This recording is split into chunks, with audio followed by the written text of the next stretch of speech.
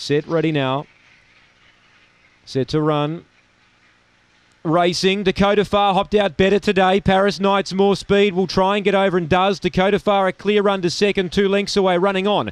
A length back to Senny Amber, behind them Good Gone Bad, well back Dashing Joker. Uh, Santano, Justice, Dusty and Optic Angel. Paris Knights a length, but here's Dakota Far after her. Dakota Far loomed up, put away Paris Knights on the inside, and Dakota Far defeats Paris Knights. Good Gone Bad third, Senny Amber fourth, Santano fifth, then came Dashing Joker. And Justice Dusty was back at the rear with Optic Angel. The money and the plunge comes off. Number one, too good. 22.54 the time. Crunched into 180 on the Ubet tote. And the uh, the big thing with him today was that he was able to hold his own. He was crossed by Paris Knights, but that didn't matter.